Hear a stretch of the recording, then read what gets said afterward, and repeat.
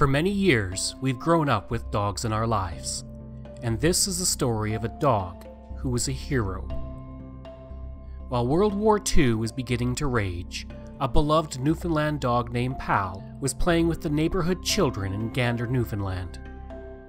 Because of his massive size, an accident occurred while playing with the children, and it was decided to give him to the Royal Rifles of Canada to be their mascot. The men renamed him Gander in honor of the place he was from.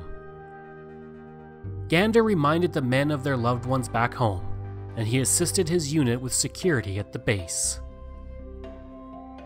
Gander was now an MP and was given the rank of sergeant. In October 1941, the Royal Rifles were notified they were being transferred. and October 21st, they boarded trains and left to join the war. On their journey across Canada, the unit paraded in each city along the way. At the lead of all those parades was Sergeant Gander and his handler, Fred Kelly.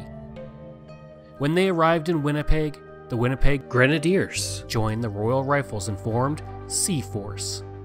As they began boarding the ships, the commander of the ship refused to allow a bear on board, but after a bit of explaining, Sergeant Gander joined his unit. The 1,976 passengers traveled on their way to assist the British in defending Hong Kong.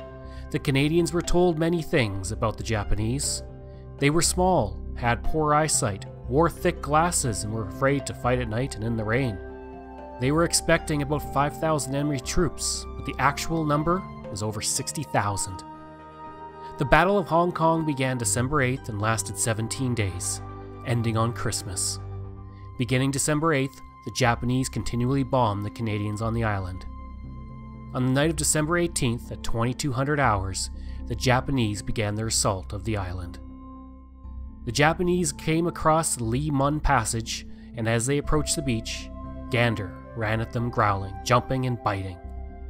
As the Japanese regrouped and landed in a different part of the island, the battle intensified with Canadian casualties mounting, Due to the high number of injuries, some men had to be left waiting to be taken to the field hospital for treatment.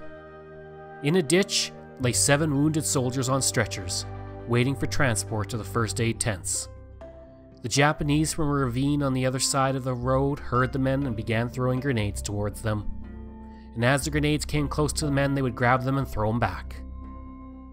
Gander saw what was happening, and when one grenade landed near the men, but out of their reach, Gander picked up the grenade and took it back to save his men.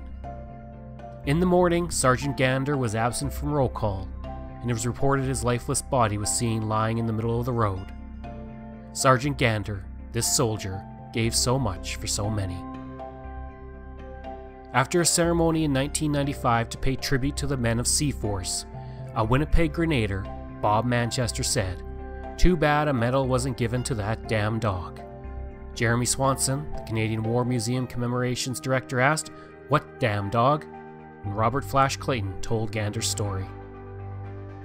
After hearing the story about Gander and his heroic deeds, Mr. Swanson petitioned the PDSA in England to award Gander the Dickin Medal. The Dickin Medal is only awarded to animals who've displayed the highest act of valor and honor in wartime while in the British Commonwealth forces.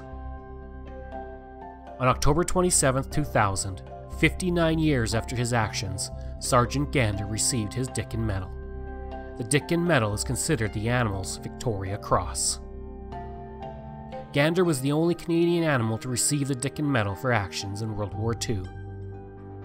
On August 15, 2009, a dedication ceremony to honor and remember all the Battle of Hong Kong veterans was held at the newly erected Remembrance Wall.